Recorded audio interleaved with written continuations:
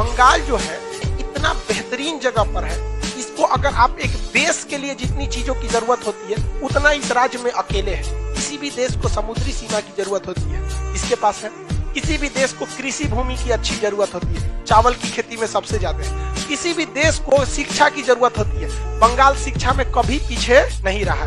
किसी भी जगह को टूरिस्ट प्लेस को, किसी देश में अगर टूरिस्ट प्लेस है, घूमने वाला जगह तो बहुत अच्छा होता है। यहाँ पे भी दार्जिलिंग, सिलीगुड़ी, जलपाईगुड़ी टूरिस्ट प्लेस भी एक नंबर है। किसी भी जगह पर जो भी जगह रहता है इंटरनेशनल बाउंड्री रहता है तो अच्छा होता है। इसके पास दो दो, तीन तीन इंटरनेशनल बाउंड्री नेपाल, भूटान, बांग्लादेश।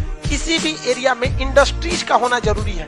पश्चिम बंगाल, हुबली, कलकत्ता, मालदा, यहाँ पे दुर्गापुर, चितरंजन, रानीगंज, ये सब चीज़ें यहाँ इंडस्ट्री भरी हुई है। किसी भी देश में खनिज संपदा अगर रहेगी तो खनिज संपदा से वो देश आगे बढ़ जाता है। तो खनिज संपदा यहाँ पर बहुत ज़्यादा है, रानीगंज। किस लिए है? दुर्गापुर। दुर्गापुर इंडस्ट्रियल एरिया, कोयला के लिए बहुत बेहतरीन जगह है। तो पश्चिम बंगाल बहुत ही हर तरह से क्या है, वर्सेटाइल है।